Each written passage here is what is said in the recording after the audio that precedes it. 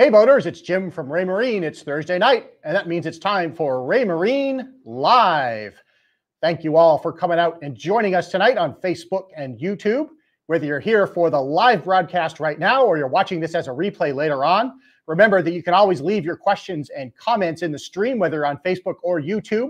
We try to take as many questions as we can here live during the stream and we'll follow up on all of them afterwards as well. We want to make sure everybody gets their questions answered, so feel free to drop them in anytime. So tonight we are going to be talking about the all new Lighthouse charts by Raymarine.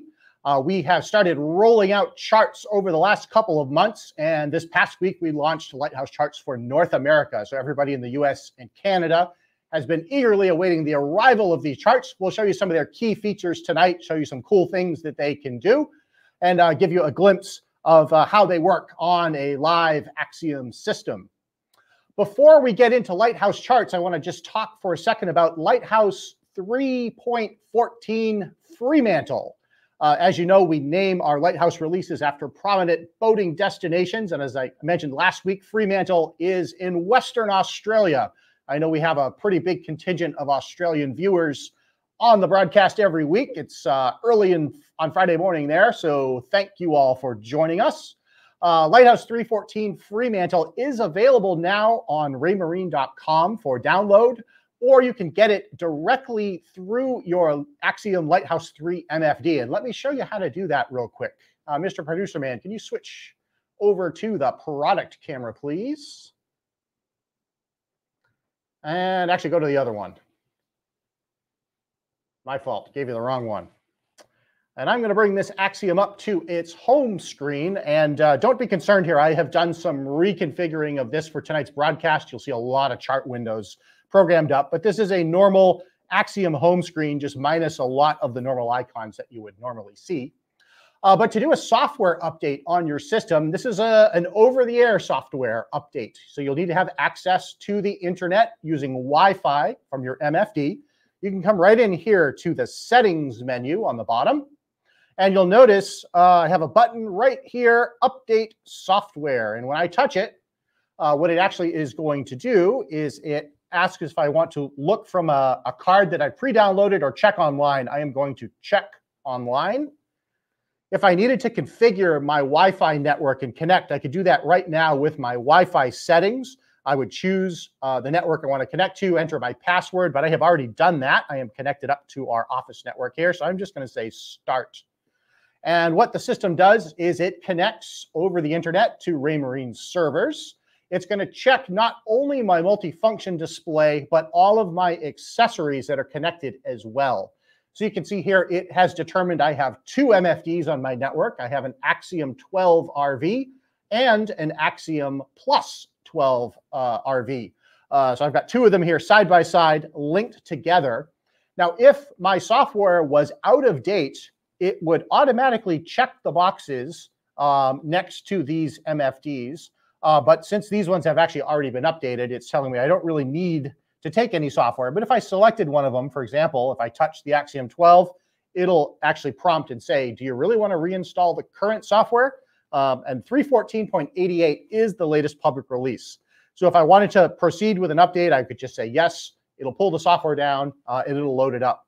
If you had other peripherals, if you've got radar, if you've got sonar, if you've got an autopilot, if any of those things are out of date, it will pull down updates for those.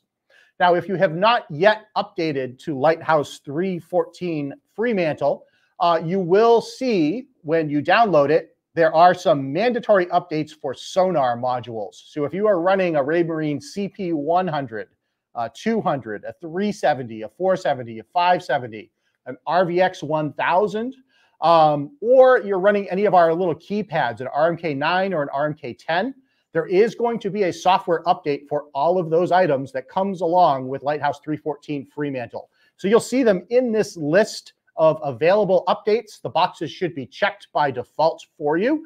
Um, and when you hit the button to update all of those selected items, it'll pull down software for those as well. Uh, plan on it taking probably about 10 to 15 minutes to update uh, all of your gear. So you want to make sure you have a nice stable Wi-Fi connection, make sure your boat's already on. uh, so your batteries aren't going to conk out on you or anything like that uh, mid-process. If something does go wrong, you can just restart it, uh, but factor in about 15 minutes of time to complete that update. Uh, very, very easy to do. Once you get it started, it's largely hands-off. The MFD will take care of upgrading all the peripherals. So we'll cancel out of here. So that Lighthouse 314 Fremantle has um, a lot of supporting features for Lighthouse Charts North America in it. So if you want to run these new charts, you will want to have that uh, on your system. And again, make sure you take the uh, the sonar updates that it offers as well, because you do need those to keep your peripherals connected. So let's take a look at the charts themselves. This is the Lighthouse North America chart. We're actually looking at outer Boston Harbor here. I have a route plotted. Our boat is headed inbound. So the first thing I want you to notice are the, um, the color palettes that we have selected for Lighthouse charts. Uh, we have tried to go with a color scheme that is very, very easy to read, provides good contrast between the deep water and the shallows, good contrast between the shallows and the land. Um, we're using some unique color shading for the mud areas, um, all to just kind of increase your situational awareness, make it easier at a glance to see where the boat is on the chart. Now, some neat things that we can do, we can adjust the size of all of the chart icons. So when we're looking at things like our uh, buoys, our nav aids, um, we can adjust all that. And the way that we do it is right in here. So I'm going to use my mouse so you'll be able to see the mo motions. I go into my menu. I go down here to the bottom and into the settings. The settings of this gear icon on the bottom. And these are going to be on the layers tab. And on the layers tab, I have this thing here called chart object size. And if I slide this to the right, it is going to make all of the navigation aids larger. Let me give it a moment here just to refresh. I have this one kind of running on overdrive. I've got a lot of charts stuffed into this machine for tonight. There we go. There's an example of the charts uh, the chart icons at their maximum size. I'm just going to close out here so you can see it on the full presentation. So that brings your buoys, your nav aids, the lighthouses, um, any of the points of information icons uh, up to whatever size you like.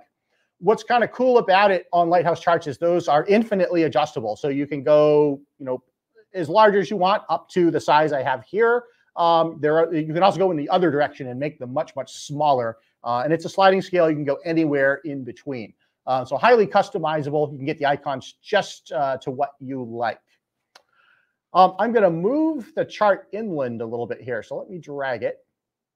And we're going to head in towards the inner harbor in Boston. And I want to talk a little bit about the points of interest information that you'll find in Lighthouse charts. So we have um, several providers that we're working with for our POI data.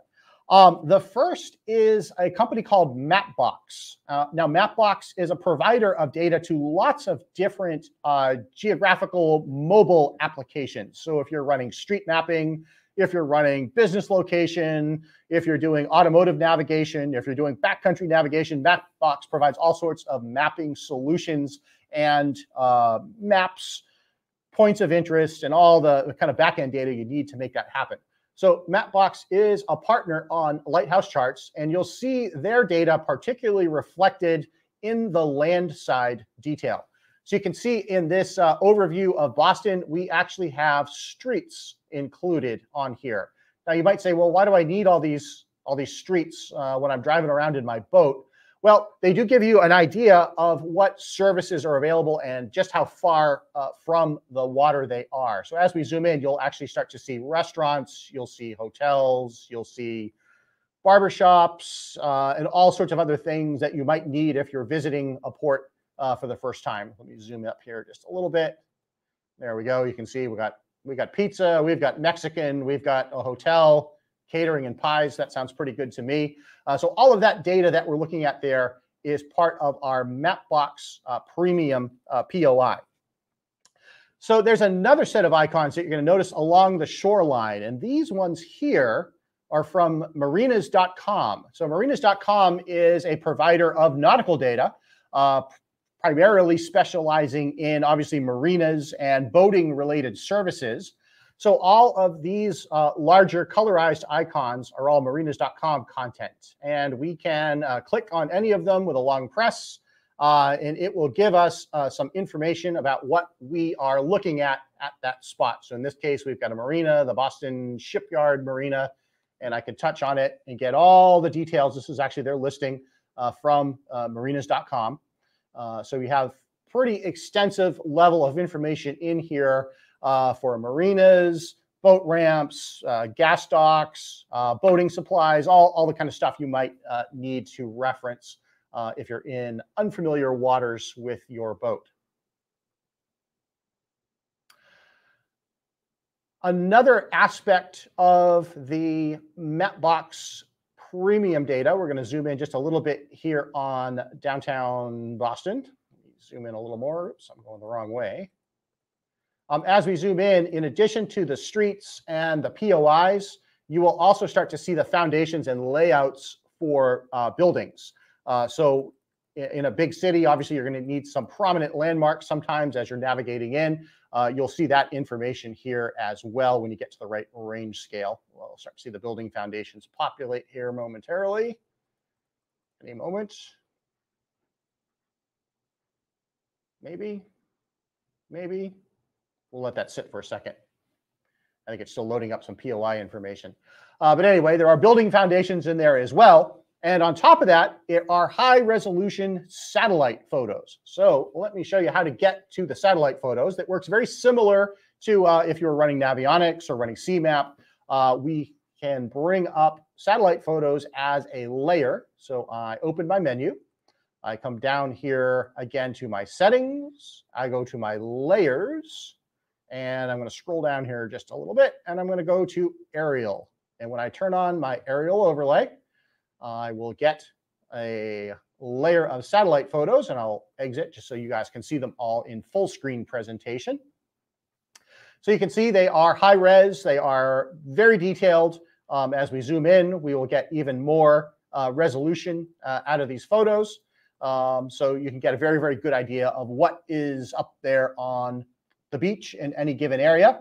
Um, you do have the option of trimming the satellite photos so they only show up over the land, leaving the water fully exposed, or uh, you can um, uh, show the entire satellite photo. So if there are areas where there might be shallows or flats or something that you can see just under the surface of the water that was captured in the satellite image, um, we can see that uh, as well. If you want to enable that or change that setting, again, go into the menu Go down here to the settings. You'll see we're taking this path quite often.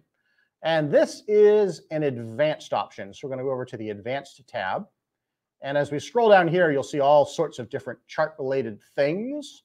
And in our chart appearance, oops, I think I just went past it. This again, chart appearance, aerial overlay. I'm going to go to land and sea and you'll see it refresh. And now it has filled in uh, the water area here. And just to give you the bigger view of it, we will zoom out.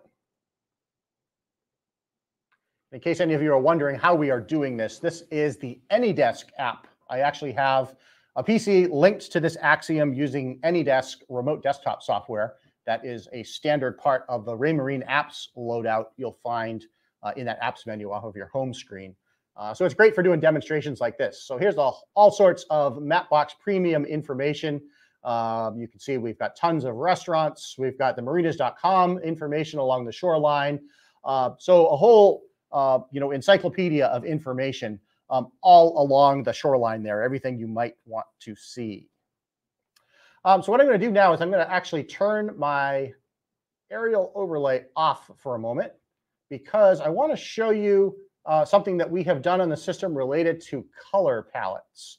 Now, we rolled out color palettes um, a while ago, but it wasn't until Lighthouse Charts came along that we could take full advantage of this uh, capability. So I'm just going to turn off um, a couple of layers here.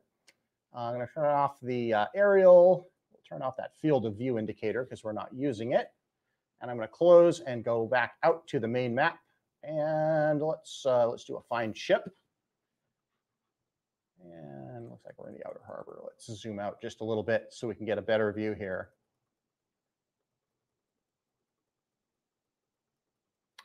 All right, so um, if I want to change uh, my color palettes, uh, I can do so very easily. And I might want to do that because the time of day uh, I am boating uh, changes and the lighting conditions change. So this is kind of the normal uh, daytime color palette for Lighthouse charts. Um, what I want to show you, uh, Mr. Producer Man, can you bring up the alternate product camera so that they can see my MFD? There we go. So down uh, in the corner here on this Axiom, I have my swipe uh, power control. Uh, I can't show you this through AnyDesk, so that's why I had you bring it up this way. Uh, when I swipe this, I get my uh, kind of quick shortcut menu uh, that pops up here. And you'll see down here, display mode. So I'm going to touch display mode. And, oops, I'm timed out on me. Display mode. I'm going to go into nighttime mode. So what is going to happen is this display is going to shift into its nighttime color palette. And you'll see not only does the display change, but in a moment, the Lighthouse charts will also render into their nighttime color palette. Uh, so now I could even go a few steps further. I could dim the backlight if I wanted to and go really, really low, uh, but I can certainly optimize it for nighttime navigation.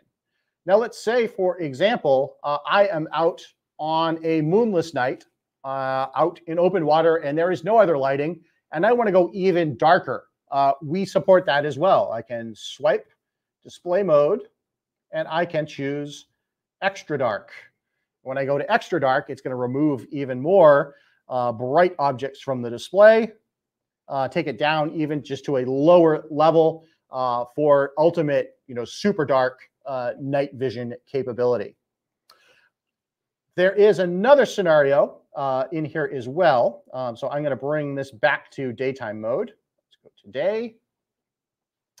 We will let it re-render.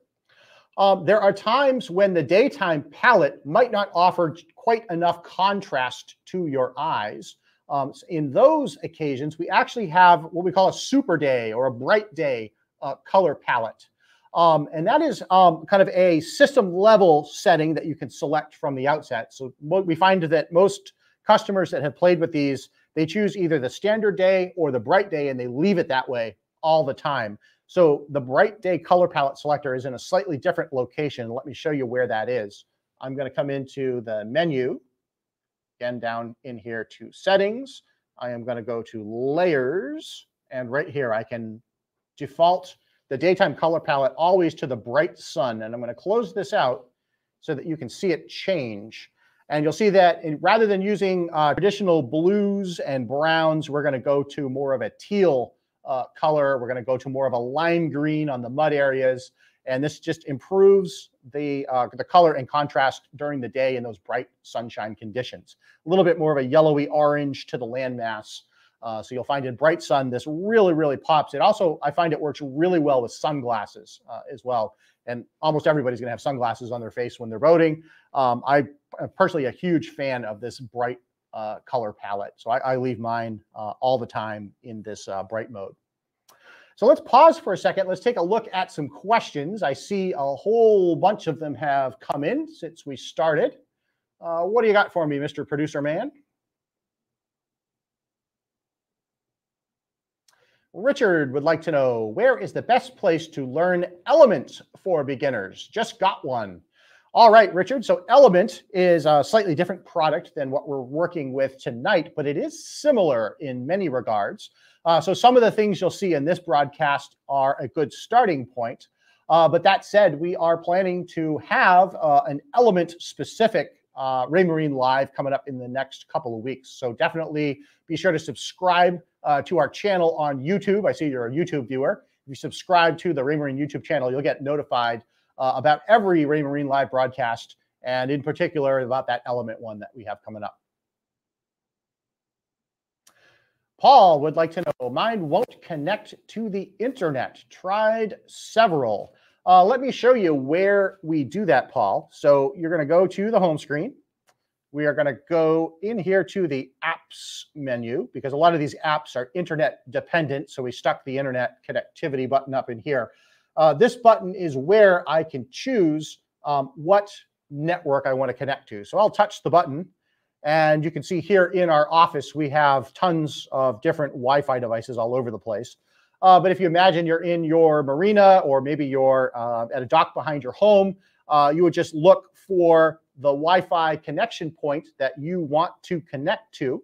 Um, and then once you touch it, uh, you would be prompted to enter your password. Uh, you type it in on the on-screen keyboard and press connect.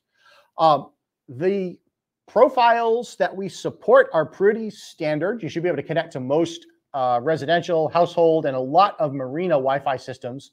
Uh, the only ones that'll give you trouble, uh, I know for sure, is if there is a Wi-Fi system that requires you to log in on a web page and enter a password or something like that. Uh, we're not able to connect to those currently, though that is something we are working on.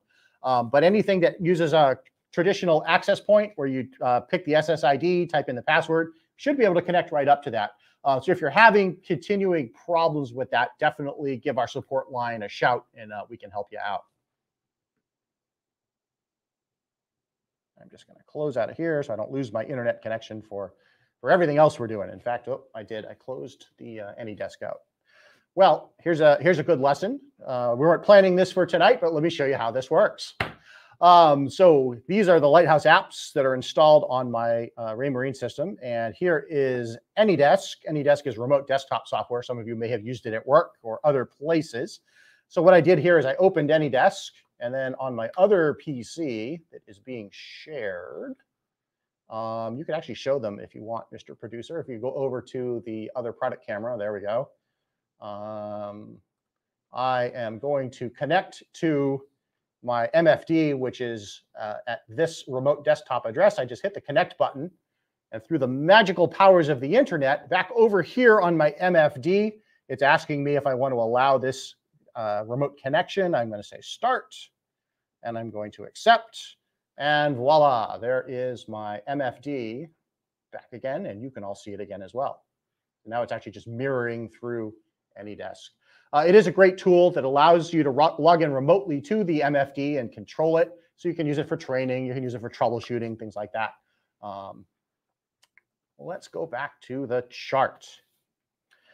All right, so we talked a little bit about some of the basics of Lighthouse charts. Um, let's look at some other uh, options that it has that are kind of neat. Um, we have the notion in Axiom of chart operating modes. So when I open a menu on Axiom, and uh, let me bring you back to full screen just so you can see this a little bit better. There we go. When I open the menu, the chart menu here, you'll see these kind of quick action buttons. Um, you'll see this kind of user interface, not only in the chart, you'll see it in the sonar and in the radar. So the chart has operating modes as well. So we are in detailed mode, which provides us uh, maximum chart detail for navigation. Um, we do have a simplified mode as well. So if you want to instantly declutter the chart and just get down to the most basic chart elements, you just touch uh, simplified mode and you'll see the chart update. It'll actually strip away uh, some of its layers in this case, it's taking away some of the depths, but it does leave the contours behind. Um, and let me zoom out just a little bit so you can see the bigger picture overall. Again, you get your major navigation aids. Uh, we get the colorizations uh, for the depths. So we get the landmass, but overall it is a much, much clearer uh, view. So if you uh, need to just declutter rapidly to take a look at where you are, look at what's around you, um, with the touch of a button, you can go to simple. And then when you need to bring everything back, just open the menu, go back to detailed mode, and you'll see the chart refresh and bring back all of its elements. They will load up here. Another thing you could see, um, well, it was in simplified mode and now again back in detailed mode. Um, these charts also have tides and currents uh, in them. So we're actually seeing some current stations uh, right here. You can actually touch on any of these. Um, go to the our chart info and we have tidal information that we can bring up. I can just click on it and it should load up. In this case, uh, this is a current speed station, so I can get the speed of the current at that location. Uh, there's tide information uh, in here as well. It also plugs in uh, sunrise, sunset. Um, you can see the direction of flow. And of course, you can uh, jump ahead in time as well. So if you want to look uh, forwards or backwards, you can just simply click in, you know, whatever date you want to see. We could go to today's date, May 20th, 2021. And voila, here is all the data for this point in Boston as of today. Uh, we're running a data simulator, so it actually thinks it's a few months ago. Uh, but there we go. There's today uh, in Boston. Normally that comes from your, your GPS clock, so it always starts with the current day. So that is a tide station, or sorry, a current station. And there are tide stations in here as well. Um, another thing that Lighthouse Charts offers you is actually two charts in one. So the presentation that we're looking at here is what we call a leisure chart. I think that is a word that has come out of uh, our team in the UK. Uh, here we might call it a recreational chart, but this is a leisure view of our charting.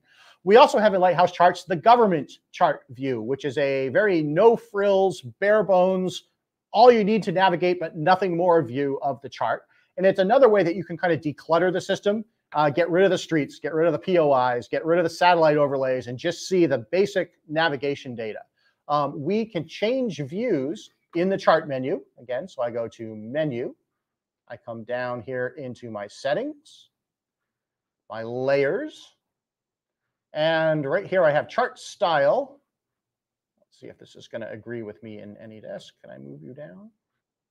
I have leisure, oops, and I have government. I went too far. Let me go back up here. This is the leisure tab. This is the government tab. So let's change from leisure view to government view. Touch, there we go. And if we watch in the little preview window here, we will see it transition. Go. And let's go out to the big, the big chart so you can see it up close. So in government view, it goes to a standard um, vector chart color palette. It uses now the standard NOAA navigational symbology.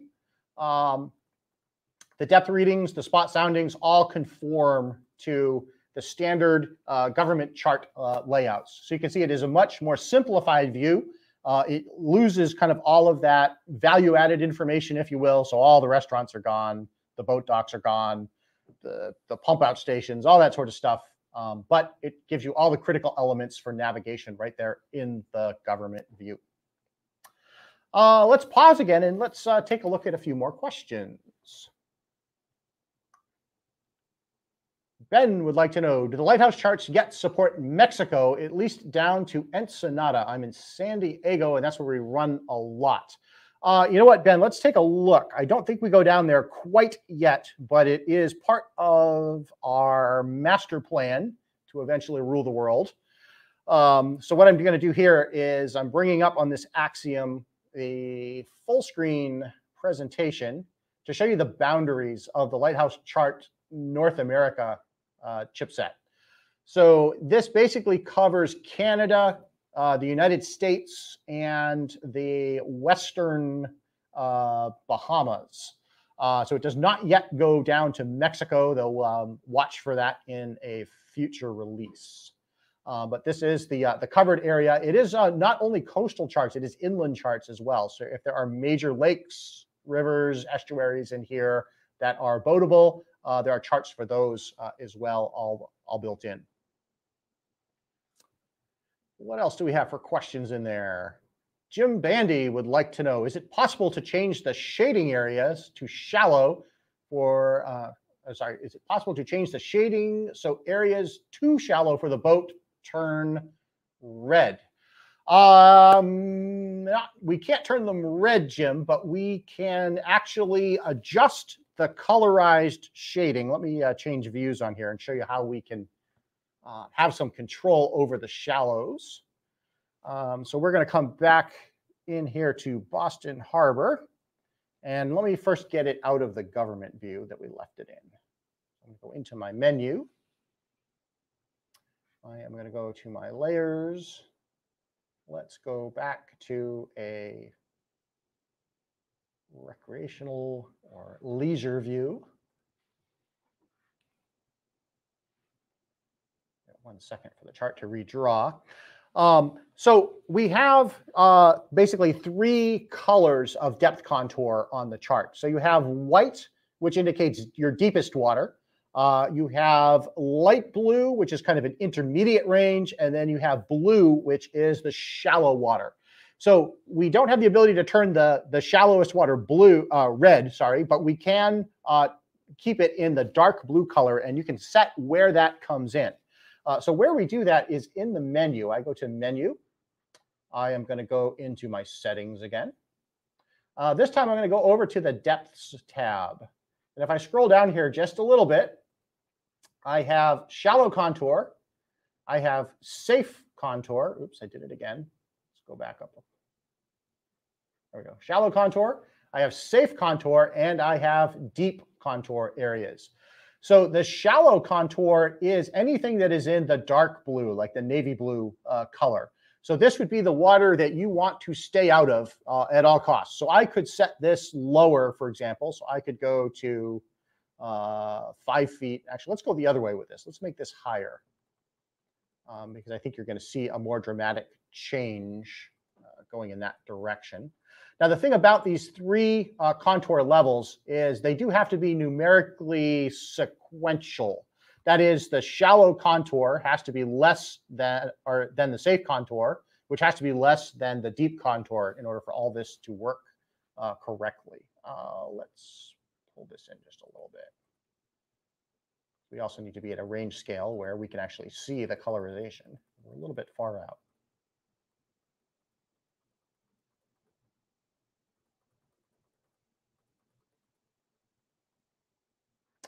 So right now, anything over 20 feet deep is in white. So let's start with this one. Let's take this setting here and let's reduce it. So I'm going to make my deep contour now 10 feet. So anything, you know what, let's go the other way.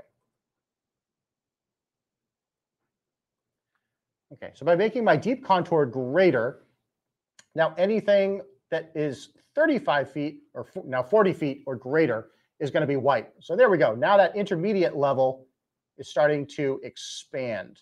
So this is my what we call the deep area. This is the safe area. So safe is basically everything between 15 and 45 feet now. If I wanted to make the shallow area even bigger, I can do that. So right now, everything in the shallows is out to 11 feet. Uh, let's go out to 15 feet.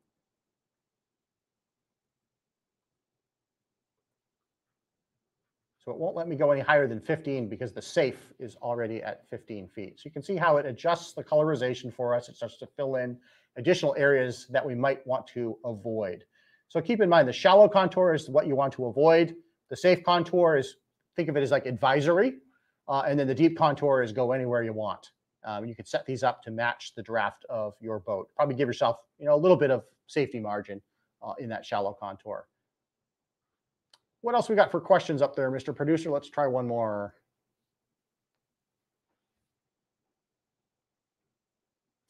Moxie, how do they compare to Navionics charts? Well, um, that's a great question. Um, as far as the data is concerned, um, we source our data from the official uh, hydrographic offices around the world. So in the United States, that data comes from uh, NOAA, um, the National Oceanographic and Atmospheric Administration.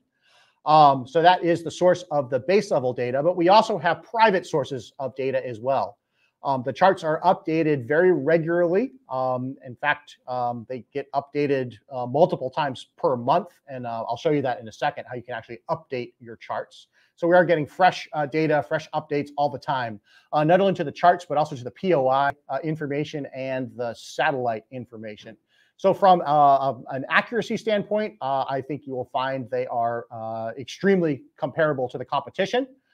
feature for feature, um, they're they're pretty good. They're pretty close. Um, you've got um, everything you need for navigation. Uh, there is fishing data uh, built in here as well. There's some bathymetric data that we'll show you in, in a second. Um, so overall, it's a nice package. There's satellite photos, um, enhanced POIs, um, and uh, there is um, uh, the means to uh, update the charts on a regular basis as well. So they're definitely worth a look. Um, let's see, we got another question in there. Mark would like to know. He also tried to load 314, but told there was insufficient memory on the card. So, Mark, uh, you probably have a first generation Axiom unit. Um, the difference between a first gen Axiom and an Axiom Plus is the amount of onboard storage memory. So, your Axiom has eight gigabytes of memory, um, and Axiom Plus has 16 gigabytes of internal memory. Um, what the system is basically telling you is there's not quite enough room for it to download the update file and store it temporarily uh, to do the update. Uh, the easy solution to that is to just pop a micro SD card that is blank or that you know has at least uh, least to have at least three gigabytes of free space uh, to pull down that 314 update file. And that'll give it plenty of room uh, to hold the files it needs. Uh, it'll update your system, and then you can pop your map card back in. Uh, but right now, um, it would try to put it on your uh, internal memory card. There's just not enough space. David would like to know, he has a Raymarine E-Series MFD and the Lighthouse charts that it came with. Can I use the new Lighthouse 3 charts or must I have an Axiom MFD? What are the most recent Lighthouse charts for E-Series? Okay, so uh, a couple of different questions in here. So the Lighthouse charts that we are looking at tonight, this latest generation, they do need to run on Axiom uh, hardware. Uh, they won't run on the Lighthouse 2 platform, which is what I believe that you have, uh, David. Um, so the most recent version of Lighthouse charts uh, that would run on your system would be the Lighthouse NC2 charts. Um, but uh, the ones we are looking at tonight won't run on your uh, E-Series hardware.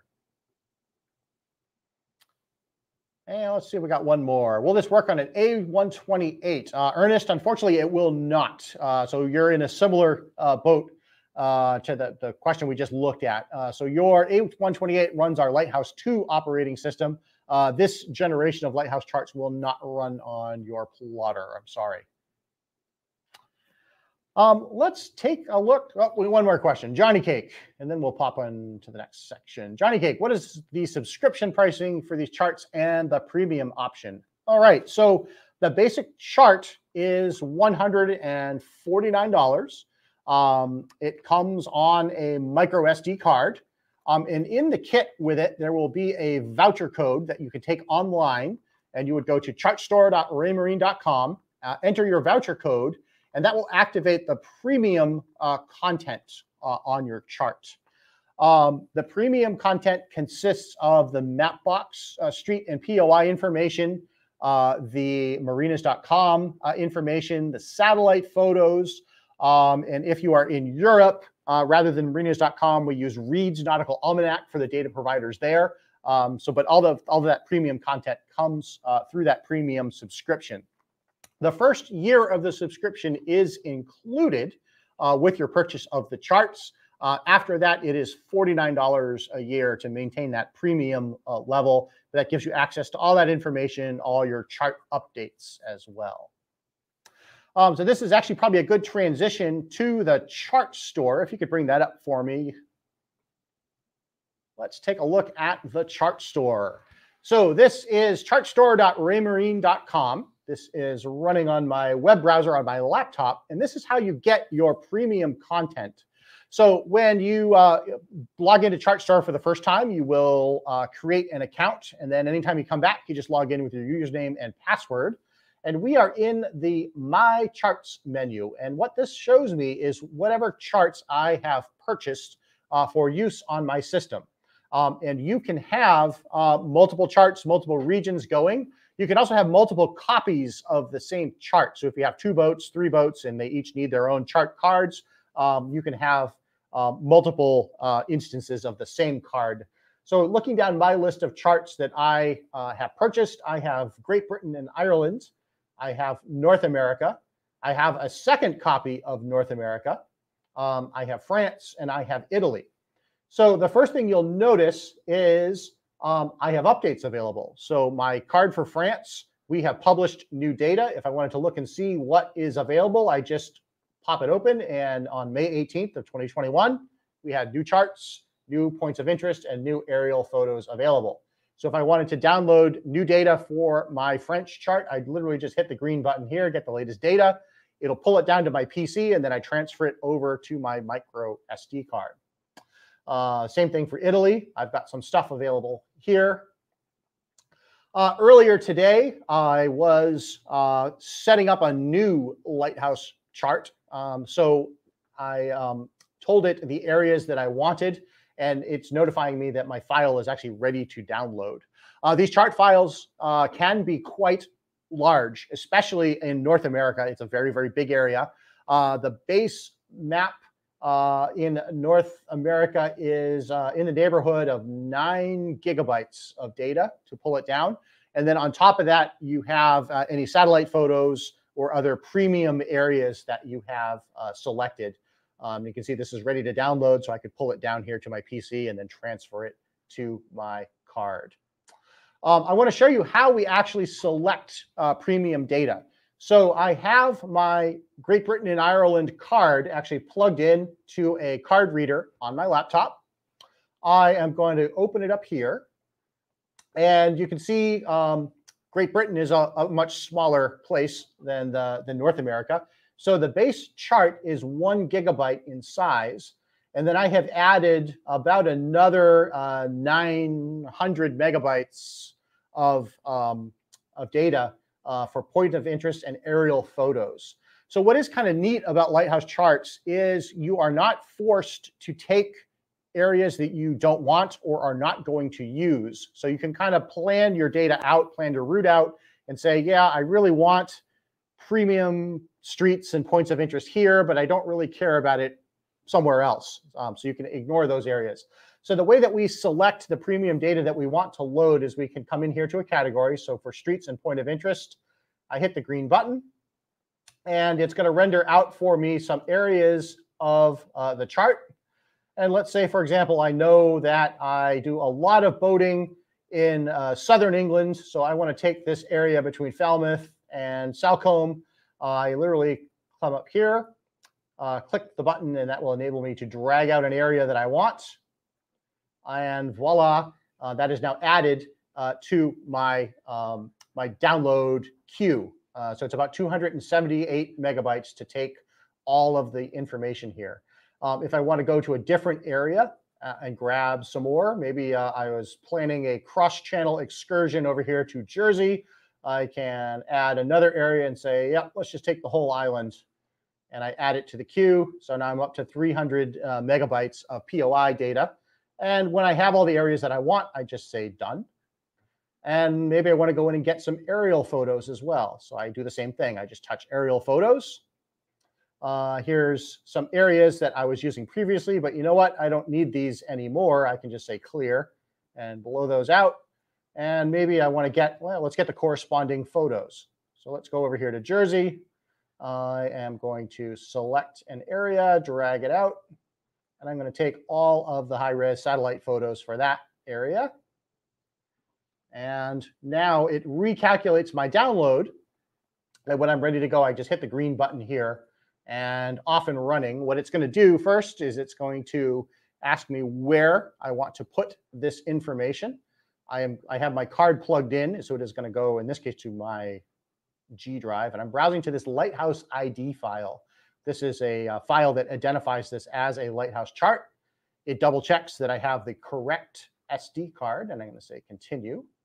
And now in the background, it's going to compile the chart information that I requested, um, and then it'll begin downloading it. So that is a, uh, an automatic process. When it finishes, then I just take the file that it downloaded, drag it onto my SD card, and I am ready to go.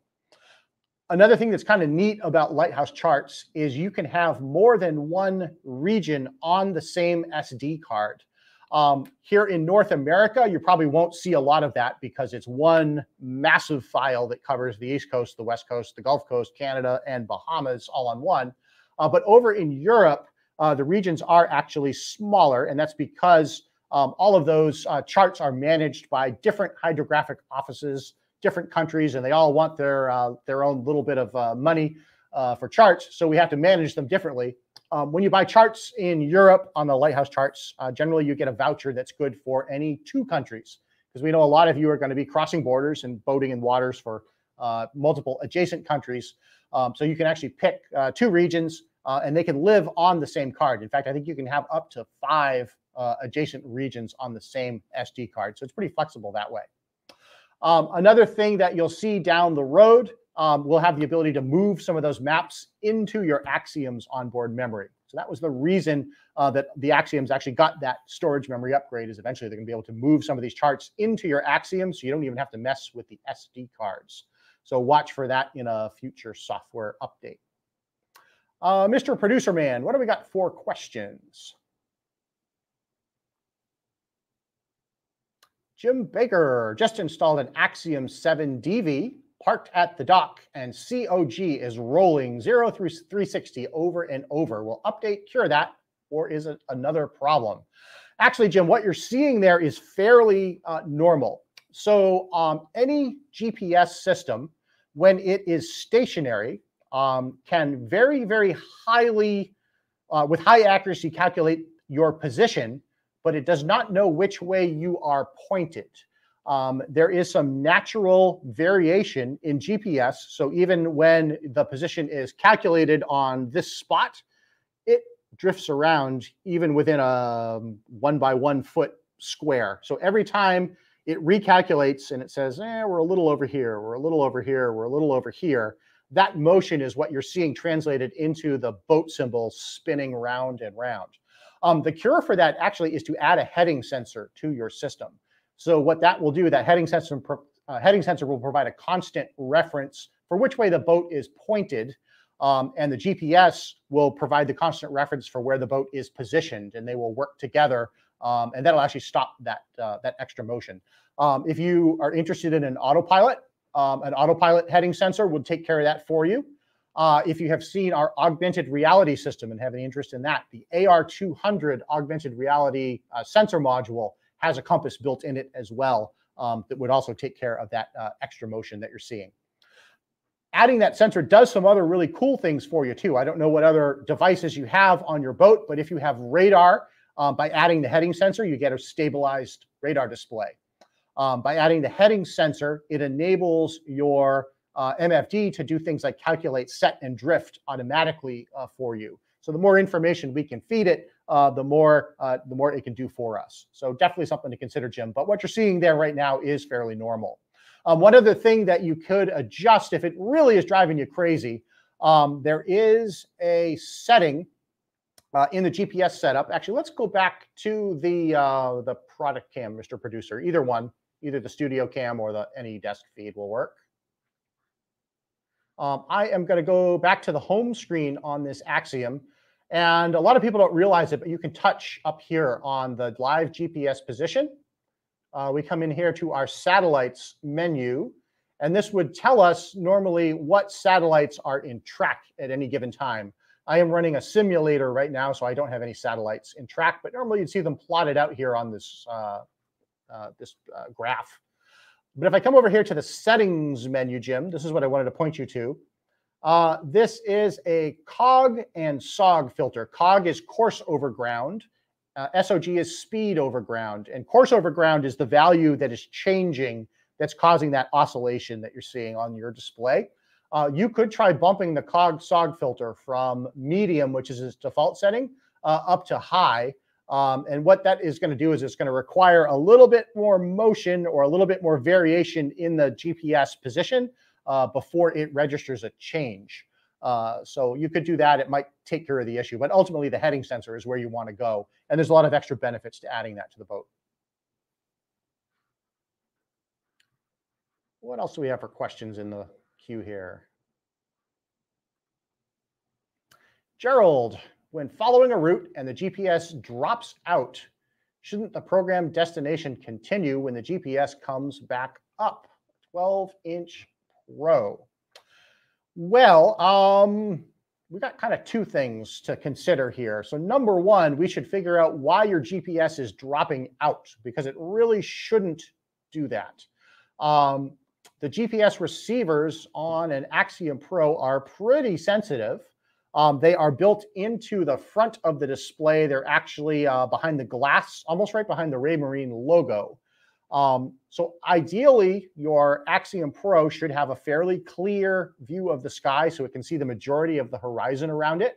I suspect yours might not. Uh, so you might get on certain headings, or maybe somebody's literally standing in the wrong place in front of it. They're blocking part of the sky and they're dropping out some of those satellites. Uh, and that might be what's causing the, um, the drop and fix. So if this is happening very often for you, Gerald, you may want to consider adding um, an external GPS sensor to your setup uh, to improve your reception.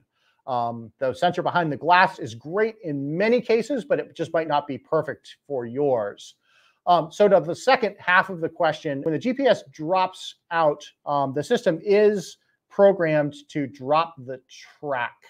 Um, it does that kind of as a safety measure um, but you should get alarms when the GPS fix drops uh, as well. You should be getting an audible alarm. You should be getting a visual alarm on the display. Um, so that is something it is designed to do if the GPS drops out. Uh, we do want the tracking uh, to stop. Um, and we want you to take notice of the fact that the GPS dropped out and then address the issue and then bring the system back up and online.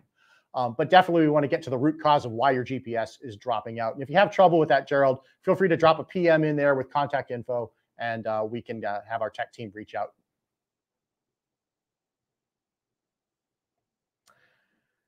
Chai City Yacker, you've got some great content. I see your stuff go up on YouTube, and thank you for sharing it with us and the Raymarine community. So his question here, will Lighthouse charts support color-coded depth shading on Axiom similar to LakeMaster and CMAP for the respective brand fish finders? Desperately want this feature for fishing. Uh, so right now, uh, the answer to that question is no. Uh, but I will say stay tuned uh, on this channel because uh, that is something that we know there is a big demand for out there. Um, there's a lot of different things we can do with color coding on the system, uh, not only for depth shading, but we can do things with water temperature and air temperature, and they all have um, very valuable insights for fishing. Uh, so we uh, we definitely hear your question. We're hearing those requests and our team is taking a look to see what we can do to bring those into all of our Raymarine family of products. Mike, is there sailing features? Uh, yes, sir. So um, there are some sailing specific features built into every Axiom Lighthouse 3 system. And um, Mr. Producer Man, I want to bring up one of the product cameras again. I'll show you, Mike, how you can access those. Uh, so this Axiom here, our studio unit, um, I'm going to go back out to the home screen. I'm going to go into my settings. Oops, there we go. Sorry, I have two monitors here and my mouse ended up on the other monitor. So in the settings, I'm going to go up here to boat details. And when you run Axiom for the very first time out of the box, there is a startup wizard that asks you some questions. And the first thing it asks you is what kind of boat do you have? So if you go in and choose any of the sailing boats, so let's go with a cruising sailboat, um, that loads a different profile of features into Axiom than if I went in and chose a powerboat or a fishing boat or a first responder uh, application. So by choosing that I am a sailboat, um, I will now have access to a lot of the advanced sailing features uh, in the system. So I am going to close out of here. And just to show you as an example, I'm going to go back into my chart app. This is just a standard chart plotter application. And let me open the menu. And I'm going to go down here again to our settings. Um, and let's see, did we get any changes in here yet? We did not yet. Okay. Um, what I was hoping to see here, and this is probably because I'm in a simulated mode. Well, let me start with this. Notice the icon has changed. I actually have a sailboat icon as opposed to a powerboat icon. Um, on a live system, you would actually see an additional tab pop up in here um, and that would be the tab to set up your polars. Um, so we have uh, polar tables uh, built into Lighthouse now for several hundred different popular models of cruising and racing sailboats. So you can go in and select your particular hull uh, out of the list of polars. Um, and what the polars do for a sailboater is they give you um, a performance model for that boat and what type of speed it is supposed to be capable of for any given wind speed and wind angle. Um, when we have the polars selected for sailing vessel on here, we can display on, um, on the chart display, we can display lay lines. So they give you optimal angles to sail uh, to the wind. Um, we can show other performance data in the dashboard as well. Um, so kind of like the icon shifted here, um, the sailing features would come to life if we were to go into the data dashboard. And let's see if it's going to show us any sailing dials. We actually get some sailing specific instrumentation um, that will auto-populate in this dashboard as well. Um, it looks like because I'm running a simulated system, it's not loading everything up that I would hope to show you. But let me do this for you. Um, we are planning another episode uh, down the road, uh, not too far away, probably within the next three weeks. We're going to bring back one of our uh, resident experts, Greg Wells, uh, to join us and actually go through in detail all of the sailing features on Axiom. Um, we did a session last spring with Greg. Uh, I encourage you to take a peek at that, but we're going to bring him back uh, and take a fresh uh, look at all of the sailing features on Axiom. But they are in there. Um, without doing a master reset on this simulated system, I can't show you a lot of them uh, right now, unfortunately. Let's see, I think we might have time for one more question. Johnny Cake would like to know, I may have missed it. Can I view any of these charts on a PC? And if so, what software is required? Uh, so Johnny, the Lighthouse charts are brand new. They are not PC viewable yet, uh, but I will emphasize the word yet. Uh, stay tuned. because We will have some news coming on that in the not too distant future. Mark would like to know on my Axiom 9, the status area popover does not display radar or AIS status, only the time and Bluetooth connections. This has worked before. Is there a simple fix?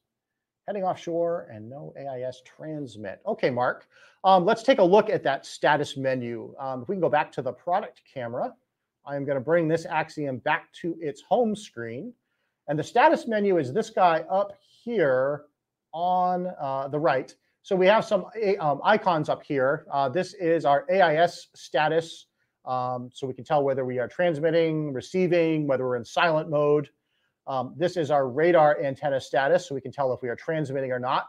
We can tell if our sonar is pinging uh, or not. We also have a little hidden menu up, up here as well. Um, so if you are not seeing this bar update, that makes me wonder if something got disconnected on your system. Because um, those should populate. Um, you should also be able to, obviously, to see your AIS contacts on your chart and on your radar. And I suspect if that has disappeared, that you're not getting that. Um, those are normally connected via SeaTalk NG or NMEA 2000. I would double check that you haven't uh, maybe unplugged something. Um, if everything is connected and if you're receiving targets, it's just the bar itself is missing, um, we might have some kind of a weird glitch. Um, one solution to try would be a reset of the unit. Before you reset it, I would back up your waypoints, routes, and settings.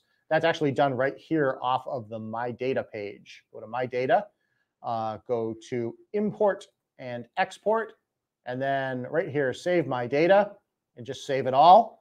Um, and when that finishes, do save my settings. And either way, it's going to ask you where you want to save these. So I have multiple SD cards plugged in on this thing. You just pick one of them that you want to save to. It'll uh, give you a, a file name, and it's going to save and back up all your data.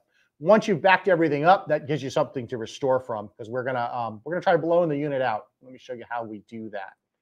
I am going to go back a menu. So I'm going to go from the home screen here into settings. And we're going to go to this display. And I'm going to scroll all the way down to the bottom. And we have this button here called factory reset. And this is going to blow your Axiom out so like it's new out of the box. So if there is some type of a software glitch or some kind of strange configuration that has disabled that status indicator, that will certainly bring it back, uh, but it is going to wipe out your uh, your waypoints and routes and other saved information. Um, so after you come full circle from a factory reset, you can go back into that import export menu that is out on the home screen.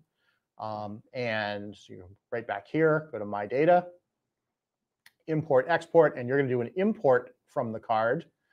And then whatever SD card you backed it up to, you would click. Um, you'll find your file on here. I didn't actually notice where I saved it to. I apologize. I didn't look. It should be here somewhere. Uh, anyway, you would select the file and restore it, and that'll give you all your information back.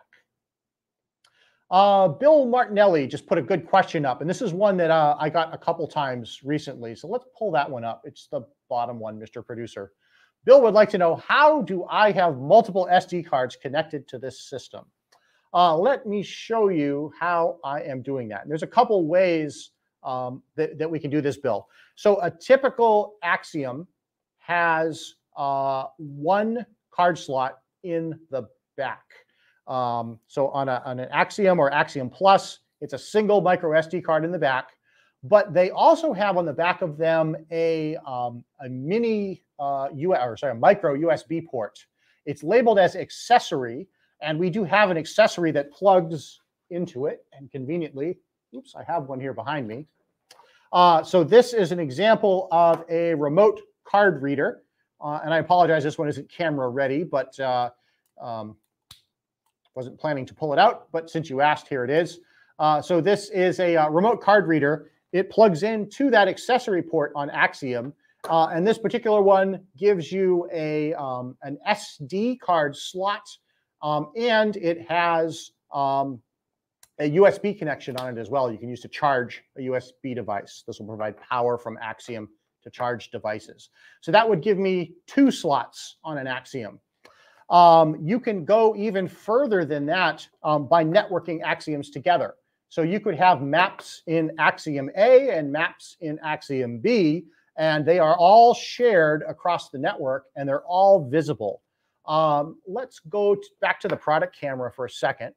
And because I want to show you, I'm just going to go into my chart menu.